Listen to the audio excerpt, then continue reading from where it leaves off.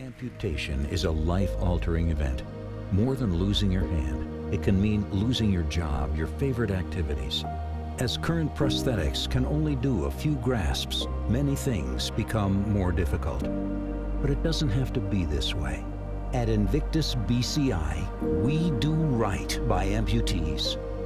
Our first product, a non-invasive neuroprosthetic BCI, converts thoughts into action.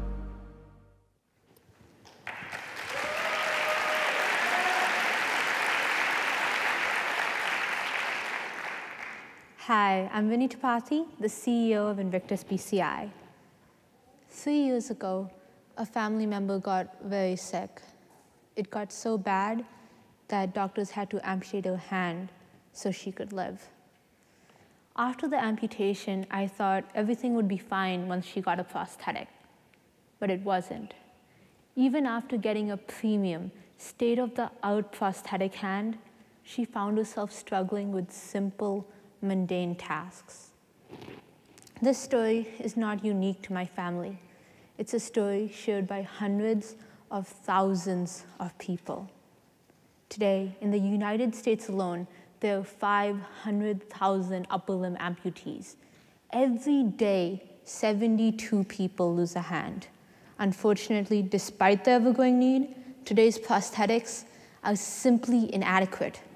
The problem with prosthetic hands is not in the mechanics, but in the system that controls the prosthetic, the control interface. For extensive customer research, where we spoke to over 180 amputees, clinicians, and prosthetic manufacturers, we learned some disheartening news. Today's prosthetics are capable of only a few basic grasps, so you can't move your fingers individually. They're difficult to control, and they have unreliable performance. Sometimes the hands will just stop working because of external conditions. One of the people we interviewed, Sophie, had to leave her job after amputation. Now, Sophie loved her job as a florist, but her prosthetic just didn't give her enough dexterity to keep working. Nearly 60% of upper limb amputees are so dissatisfied with the limitations of the control interface, they are they're so frustrated, they just give up on using prosthetics altogether. Not only can this lead to further medical problems, it decreases their quality of life, freedom, and independence. Clearly, people need a better solution, and this is where Invictus BCI comes in.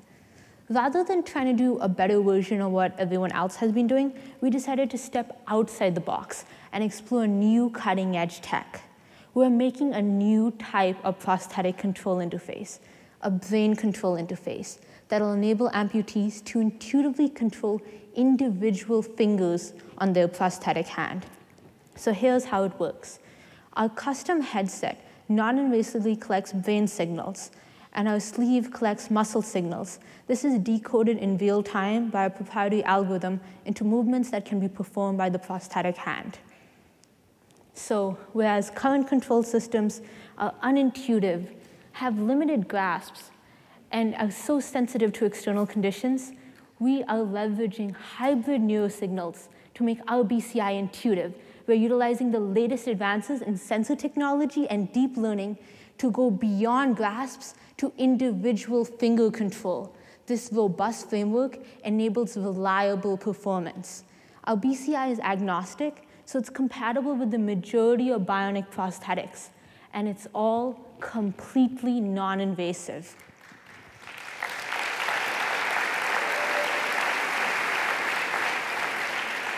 The total available market in the United States is $5 billion. We have had a phenomenal summer with Delta V, and we're excited to share that our unique sleeve design and custom signal acquisition system uh, both have patents pending.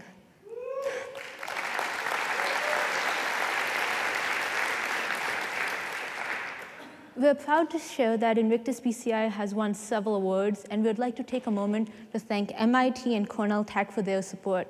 We would not have made it this far this quickly without them.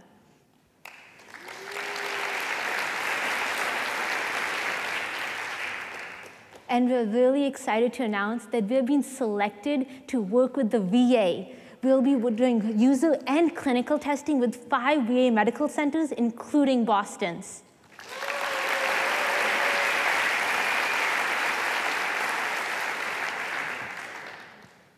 We're a highly motivated team with complementary skills. My brother and I are determined to make this company a success. I have four years of research experience in neuroengineering and lead the software side. Now, even though he's my brother, I have to admit that Ishan is a genius. he's a hands-on hacker with proven skills in robotics, IoT, and design, and leads the hardware development. Our company is named after Henley's poem Invictus that celebrates the spirit of the unconquerable, of resilience. No matter how strait the gate, how charged with punishments the scroll, I am the master of my fate.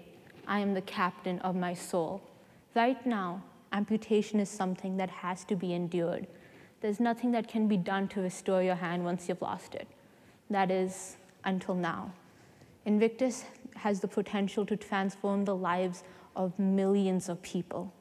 So if you're interested in working on breakthrough technology and changing the world, email us at contact at InvictusBCI, or better yet, come and see our booth afterwards. Thank you.